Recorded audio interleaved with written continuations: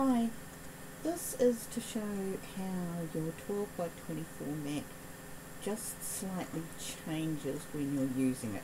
I've imported this, it actually holds cones and if you go into the edit screen up here you can see I've changed the width to 11.4 inches so therefore it's 19 inches in height.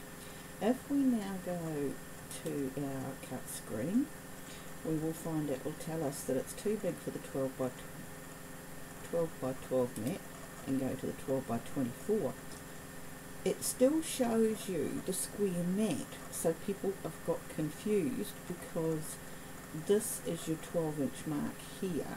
And if you count your little squares you'll find that's your 6 inch mark your 9 and your 12 inch mark. So you can see it's just inside the 12 inch mark. It goes down quite substantially because if you're looking at this being 19 inches in height you've only got a small amount here. This yellow line depicts that this is the part of the 12 by 24 mat and I hope that helps because people have got a little confused with the 12 by 24 mat showing up as square. My machine's not powered on so I won't be cutting that tonight.